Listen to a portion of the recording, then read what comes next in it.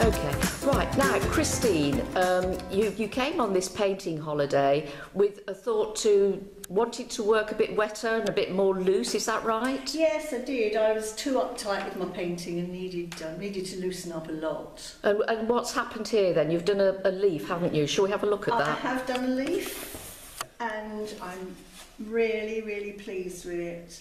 This is after your tuition. Before your tuition, when I tried a leaf, that was my effort. After listening to you and you explaining exactly what I should be doing, I produced this, which And how are you how are you feeling about that? very, very happy. I started the day feeling that I wasn't quite good enough, and it was lovely to end the day on a high note with some feeling of success. It was brilliant. Well, that's absolutely fantastic, and we're going to continue today doing that theme, painting in a more relaxed, um, working with the water more. Is that right? Yes, that's right. Okay, well, that's absolutely fantastic. I love that leaf.